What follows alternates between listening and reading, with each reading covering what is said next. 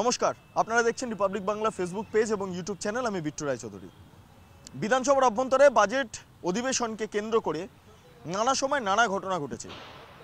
গত বছর আমরা দেখেছিলাম জগদীপ ধনকর তাকে এই গন্ডগোলের একটা পরিস্থিতি তৈরি হয়েছিল, সেই কারণে তাকে কার্যত পাঠ করতে দেওয়া হয়নি রাজ্যপালের বাজেট ভাষণ। রাজ্যপাল বাজেট ভাষণ পাঠ না করেই গতবার টেবিল করে সোজা বেরিয়ে গিয়েছিলেন। কারণ বিধানসভার অভ্যন্তরের পরিস্থিতি, বাজেট ভাষণ পাঠ করার মতো ছিল না। কিন্তু এবার সিভি আনন্দ বোস, যাকে নিয়ে বিজেপির একাধিক নেতৃত্ব নানা রকম অভিযোগ করছেন সিবি আনন্দ বোসের মুখ থেকে বারবার মমতা বন্দ্যোপাধ্যায়ের গুণগান বেরিয়ে আসছেন সেই সিবি আনন্দ বোস আজকে রাজ্যপাল হিসাবে তিনি বিধানসভার অভ্যন্তরে বাজেট ভাষণ পাঠ করলেন। কিন্তু বাজেট ভাষণ পাঠের সময় একটা ঘটনা ঘটল।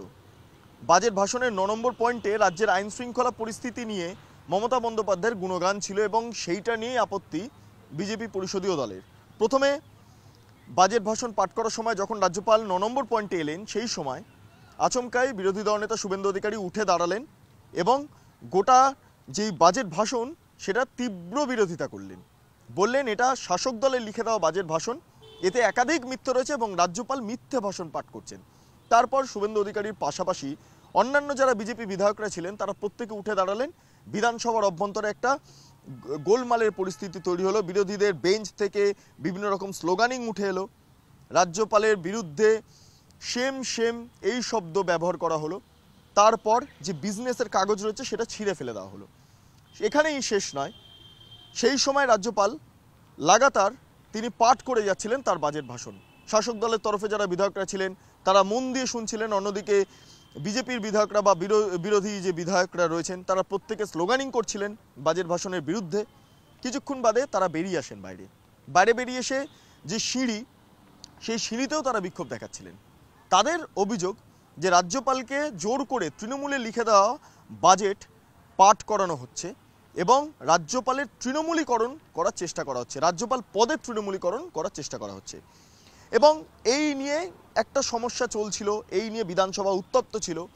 কিন্তু বাজেট ভাষণ শেষ হয়ে যাওয়ার পর যখন রাজ্যপাল এই যেই অংশটা, সিঁড়ি সিঁড়ি দিয়ে যখন তিনি গাড়ি বারান্দা দিয়ে বেরিয়ে আসছিলেন, সেই সময় দাঁড়িয়ে বিজেপির যারা বিধায়করা ছিলেন, তারা প্রত্যেকেই সেম সেম রাজ্যপালের বিরুদ্ধে বিভিন্ন স্লোগান, সমস্ত কিছু তারা তোলেন এবং রাজ্যপাল যখন গাড়িতে উঠছিলেন, সেই সময় দাঁড়িয়ে বিজেপি বিধায়করা কার্যত সরব হন।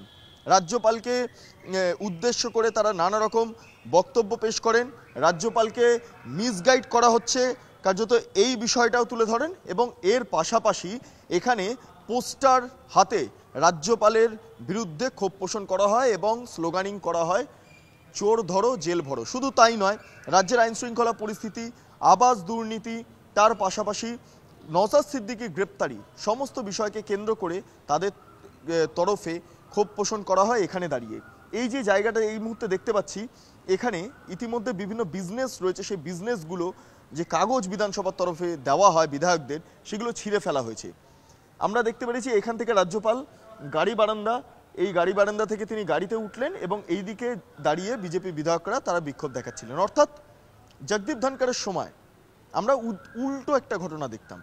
শাসক দল জগদীপ ধনকরের যেই ভূমিকা সেই ভূমিকার বিরোধিতা করেছিলেন বিধানসভায়, সাথে জগদীপ ধনকর বা রাজভবনের যে সংঘাত সেই সংঘাত, এই বাজেট ভাষণকে কেন্দ্র করে চরম আকারে পৌঁছায় যায়।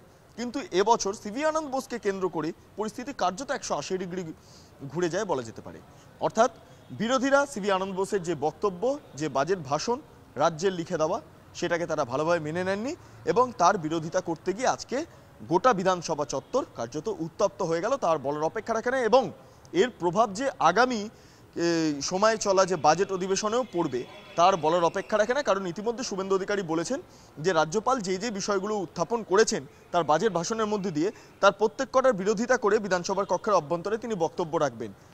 যদি সুযোগ দেওয়া হয়, তাহলে বক্তব্য রাখবেন। শুধু তাই নয়, বিজেপির অন্যান্য বিধায়করা, তারাও পর্যন্ত রাজ্যপালের ভূমিকা নিয়ে নানা প্রশ্ন তুলেছেন আজকে।